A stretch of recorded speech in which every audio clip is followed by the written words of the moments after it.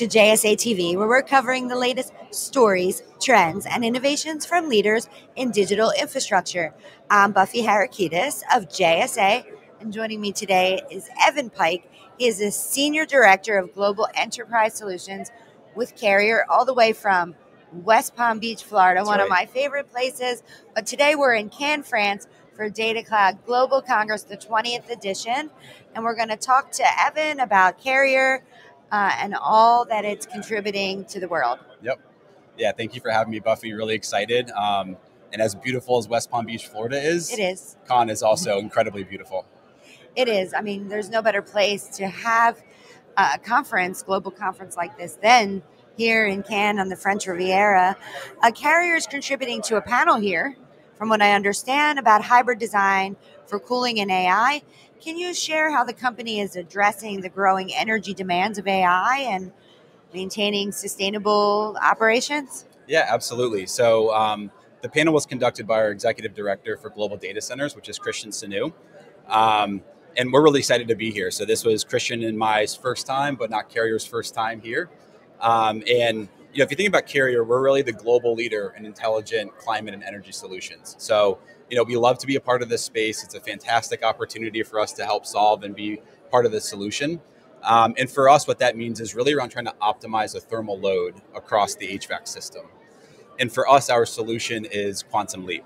So Quantum Leap is really around optimizing that thermal load. If you think about our HVAC portfolio, it's really the solution that we can deliver to our data center customers around our core portfolio of air cooled chillers and water cooled chillers, our airside portfolio, integrated into our automated logic BMS system, tied together with our Nlyte data center integrated management system to help to optimize for that thermal load.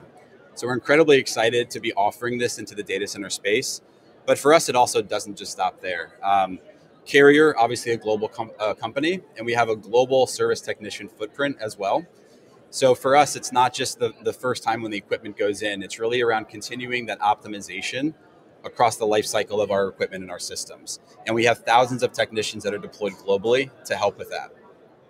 And I would say lastly on this on this question is especially in, in Europe, there's a lot of regulatory demands. There right? are, yeah. So for us, what that means is making sure that we have a, a waste heat recovery system that's also tied to our data center solution, so we can actually utilize that waste waste heat recovery that might be coming from the servers, um, so we can sort of reduce the overall net energy impact well, definitely doing important things. I'm sure you guys are so busy with everything that's happening yep. and evolving so rapidly in our industry when it comes to more sustainable uh, solutions and designs. I mean, as data centers continue to face these mounting pressures to reduce emissions, how is Carrier evolving its climate control and energy solutions to support operators' uh, decarbonization goals? Yeah, ab- absolutely. I mean, for us, it starts with our system design, right, to make sure that our systems are as efficient as possible, make sure that we have embodied carbon reductions as well, and making sure that we're delivering that to our customers.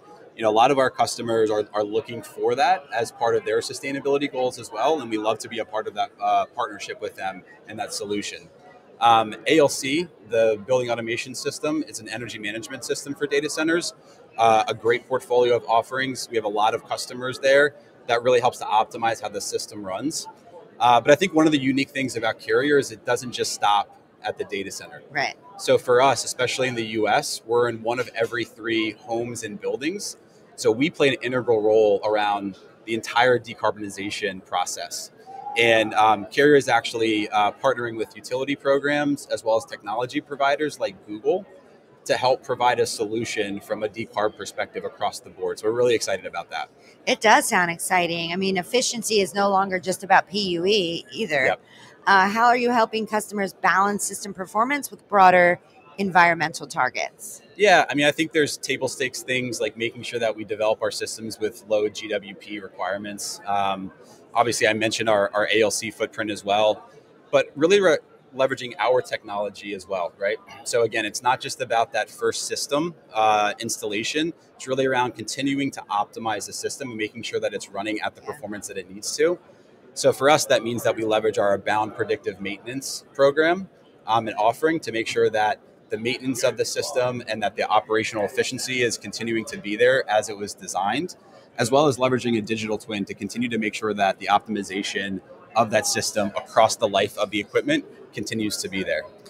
Yeah, I mean the digital twin is is really the path forward in our industry today. It really is. It really is. So I think you know if you take a step back, I think that quantum leap solution that we have really addresses the sustainability goals, but it doesn't um, impact our performance either, right? So we're able to balance the two as we as we offer that integrated solution.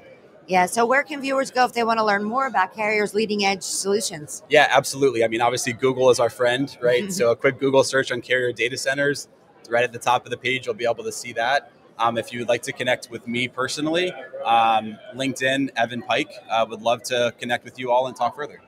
Evan, thank you so much for joining us Yeah, and giving you. your insights about Carrier and, and what you've gained off that panel that was uh, here today at Datacloud Global Congress. And thank you, viewers, for tuning in to another episode of JSA TV. Happy networking.